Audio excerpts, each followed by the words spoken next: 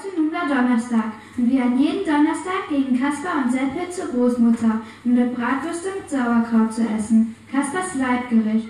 Wenn es nach ihm gegangen wäre, hätte deshalb die Woche aus sieben Donnerstagen bestehen müssen oder noch besser aus vierzehn.